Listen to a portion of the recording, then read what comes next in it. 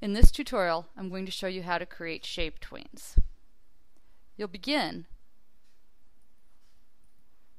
by using your Poly Star tool and changing your settings in the properties area with options to create a three-sided polygon, which will be a triangle.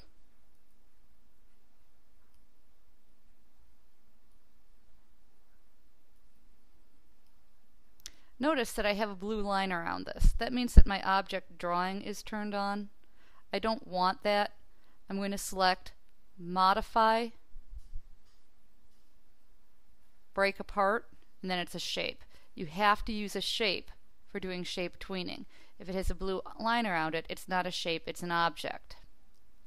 In frame 60, I'm going to insert a blank keyframe. I'm going to again choose my Poly Star tool. I'm going to change my options to star and I'm going to do a five-sided star. I can also first turn object drawing off and I can change colors at the same time.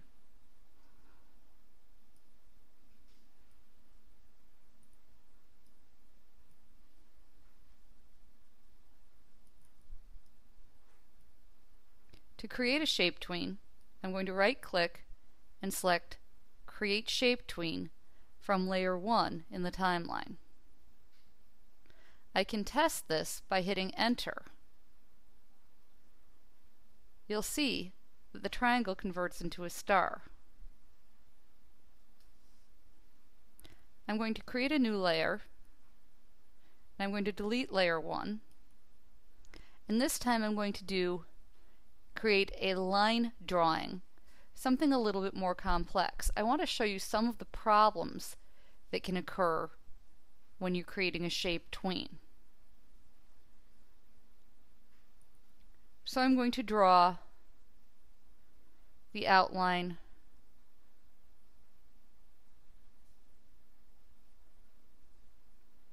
of a very, very simple flower type shape. I'm going to fill it with a color.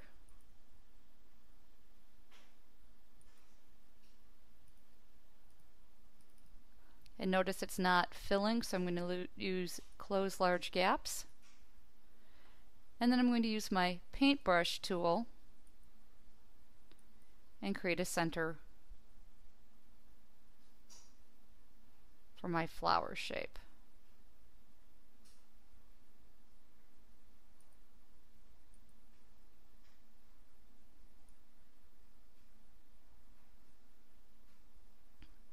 Not the most beautiful flower, but not particularly important for this exercise. I'm going to insert a blank keyframe.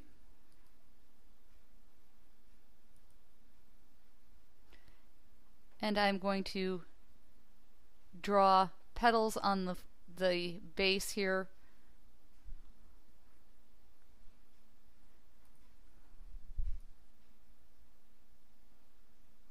As if they had fallen off the flower.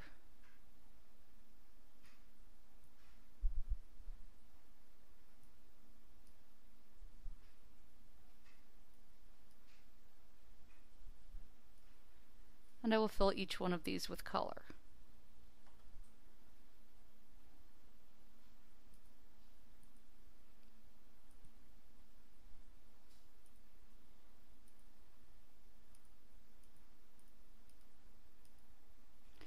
I'll create a shape tween.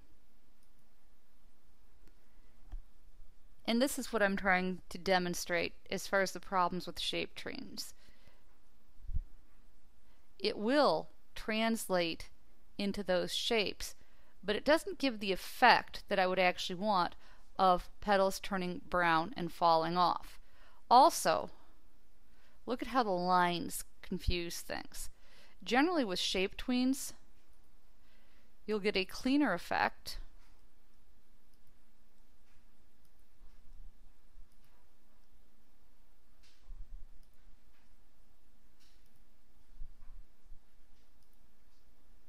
if you delete all of the lines once you've drawn your shape.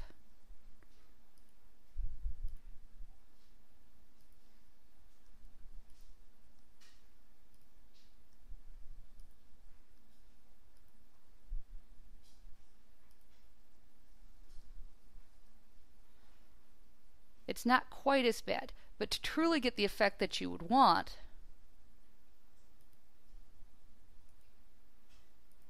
anything that you want to convert needs to be on its own layer.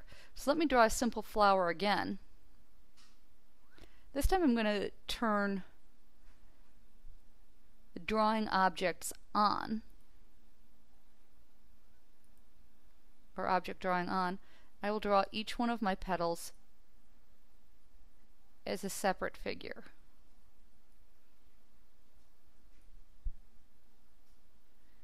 And it's okay if they overlap.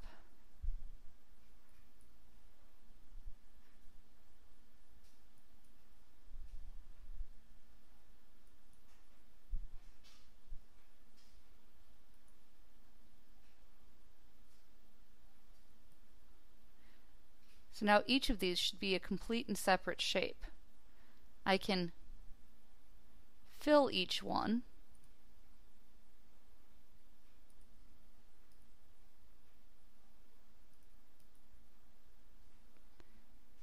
First I have to move them to their separate layers. I did that out of order. I can do a modify timeline distribute to layers. That will put each one on a separate layer. I can delete the original layer because it's empty.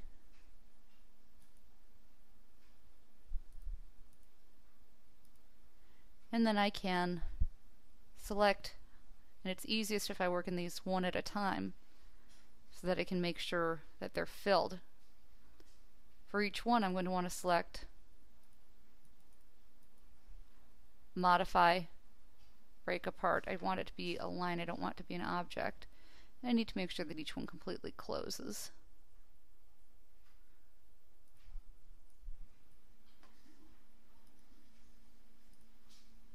and then I will be able to fill them.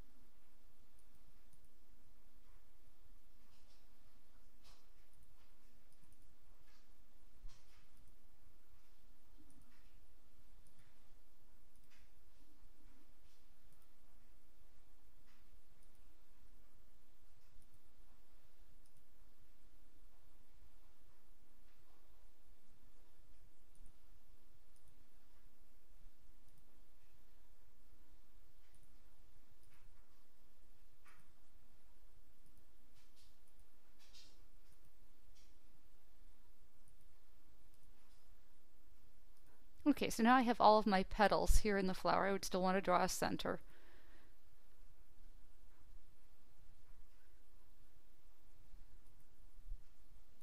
Potentially, if I was going to make this really authentic, I'd have a stem, I'd have a center. I'm not going to really worry about this. Now, in each of the last frames, I'm going to just insert a keyframe, not a blank keyframe. And again, I can select and do that in all of them at the same time. And again, I find this significantly easier if I hide the layers that I'm not working on. So here, if I want it to be a falling leaf at the end, I would change its position. I would change its color. And I would slightly change its shape.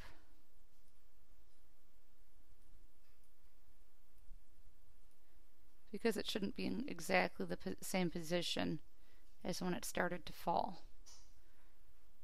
And I could do that for each individual petal.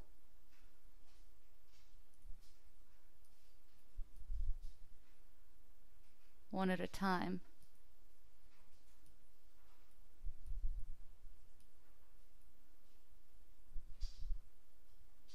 Generally with shape tweens, subtle is best.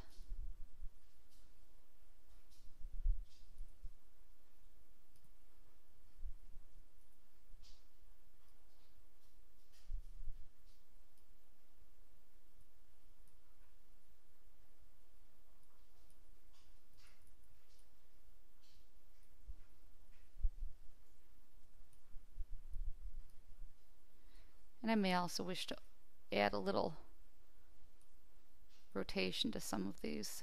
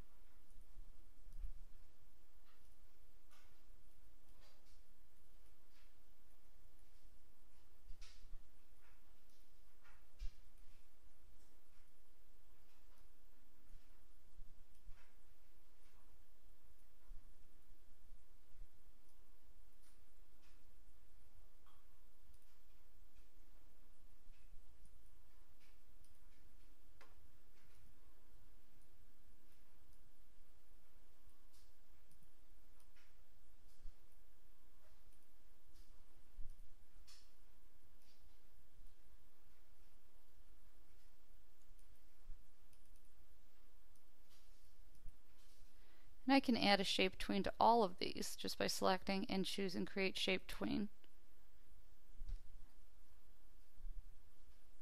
And you can see that they sort of fall apart.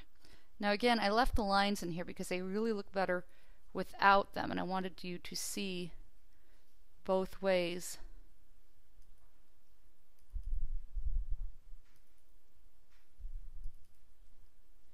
If you get rid of all of the lines, you'll see a much smoother transition.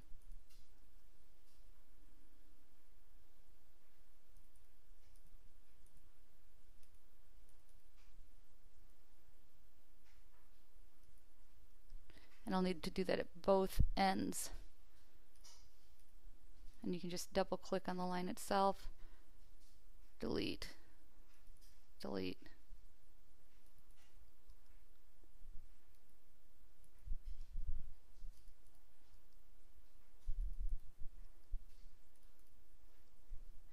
And now it'll be a much smoother falling shape, which is really the effect that I was looking for. So the key things when using a shape tween, they work better if you delete the lines, keep them simple, and make sure that each transitioning shape is on its own layer to get the results that you expect.